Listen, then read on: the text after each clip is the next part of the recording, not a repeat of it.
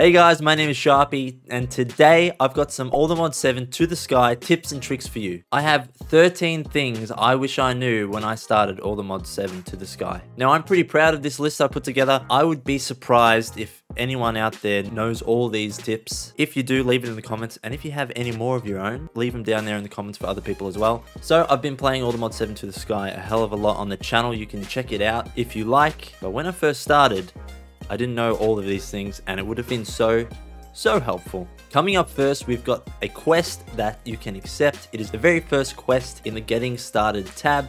My playthrough, I missed it completely and I did not even click it and I didn't get the lava, I didn't get the ice, I didn't get the seeds, the cactus or the sugarcane until like my third play session. You can get all these items pretty easily and quickly. So if you just want to skip a little, like a, an hour or two of grinding, you can just click and accept the rewards and to get a little bit of a head start. I don't think it matters too much, especially if you put in practice some of the tips I'm going to share with you here. In the end, it is up to you whether you want to grab the lava and make an easy cobblestone generator and get yourself started that way. Number two, if you do accept the lava bucket, all you need to get a cobblestone generator block, three iron for a water bucket. You can put a lava bucket, water bucket, piece of glass, and six logs and then you have an auto little cobble generator. It's not in any of the quests, so it's not super obvious if you don't know about it already. This is a very useful block later on, and the earlier you get it, the better. But if you don't grab the lava bucket and you are grinding, right-clicking grass blocks to get stone pebbles, basalt pebbles, diorite, andesite, all these junk pebbles, clogging up your inventory, and all you really want is stone to make cobblestone. I came up with a little uh, trick. All you need to do is fill up your inventory with stone pebbles and leave one slot in your hotbar open, equip that empty slot, and just hold right click on the grass. What this will do is It'll add stones into your inventory to the other stacks of stone pebbles that are already there. And whenever you pick up one of the trash pebbles that you don't want, it'll automatically throw it and destroy it. This method does take a while, but you know, what I did when I first started, I put something heavy on my right mouse button and then I just left the room for a bit. Came back, had tons of stacks of pebbles, and then I got lots of cobble. Pretty easy. Okay, number four, the building wand. If you don't know about the building wand in this skyblock pack, and probably a lot of skyblock packs, it is pretty damn useful. If you already know, you know.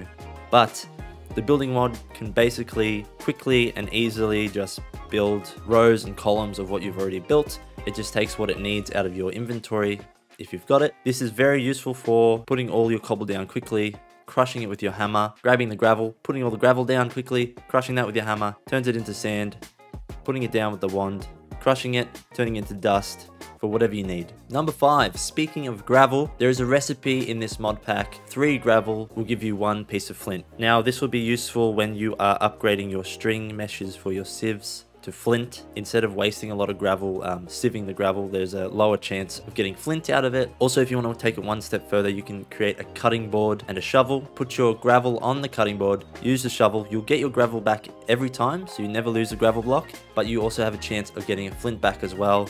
If you really want to hold on to those resources, you can do it that way, but that is the absolute best way to turn your gravel into flint.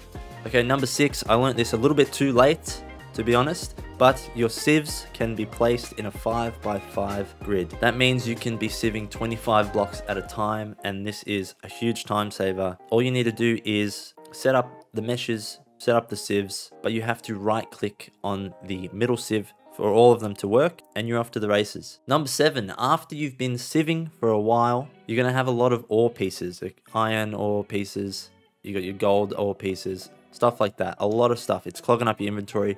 But you can quickly turn it into ore just by hovering over it in your inventory and pressing the K key by default. Obviously you can change the key to anything you want later. I've kept it as K. It's a very nice addition to have considering the extra steps you have to go through to get metals in this mod pack.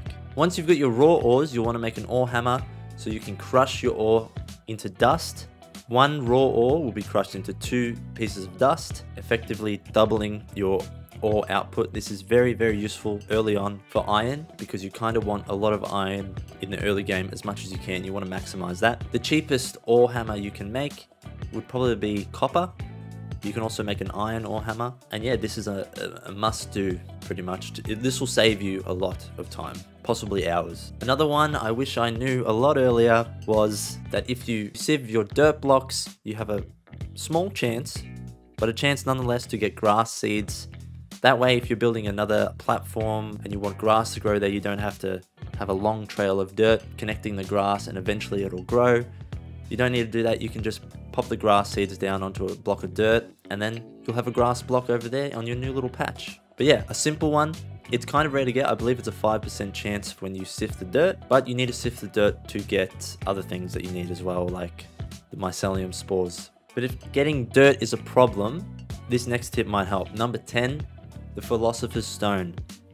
Now this is a pretty easy to craft item and it, it turns blocks into completely different blocks. You don't need fuel for it, it just works. I don't know every use for it, but I do know that you can turn a cobblestone block into a grass block with a click of a button. And that just makes things so, so easy.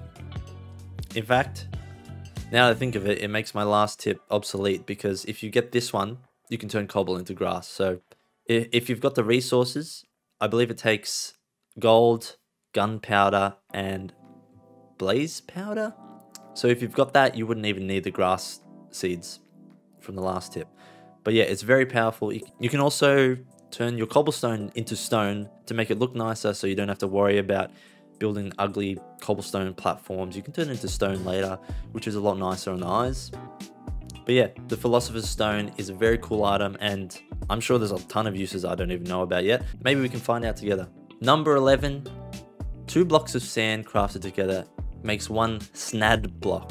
You want to use snad instead of sand to grow your cactus and your sugarcane because it is unbelievably fast. You can literally just place the cactus or the sugarcane down. By the time you're done breaking the block, uh, it'll it would have grown to a, the height of two and you'll be collecting two. So it's kind of crazy. It's kind of, it just feels like cheating really.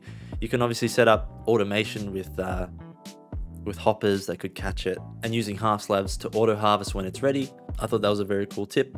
Next up, number 12. This one kind of goes against Skyblock, I feel a little bit. As soon as you get your first diamond, you can rush the Twilight Forest and then you have a ton of early game resources at your fingertips.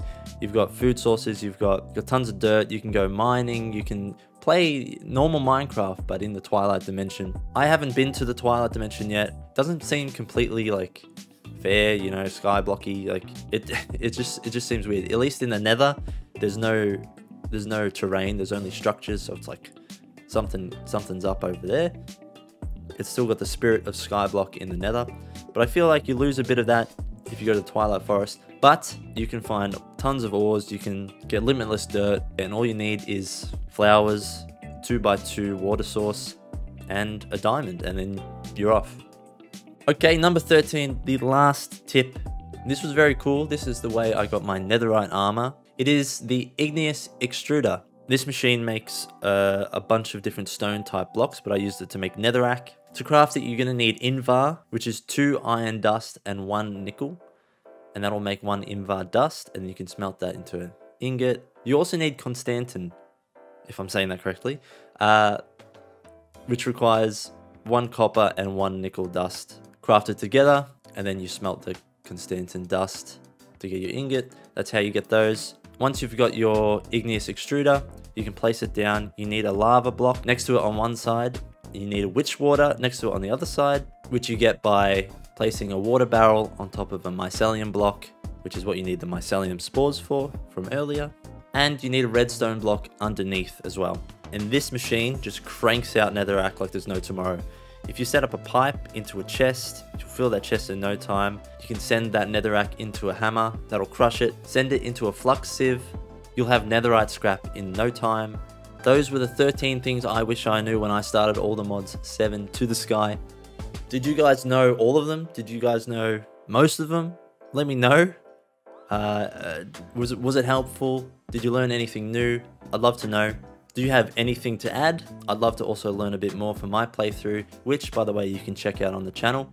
I want to say thank you to you guys because we just recently hit 1000 subscribers and it means a lot. I'm going to be live streaming soon here on the account. We're going to be playing all the mods 7 to the sky. That'll be fun. But if you did enjoy, please subscribe, like the video, and I'll see you next time.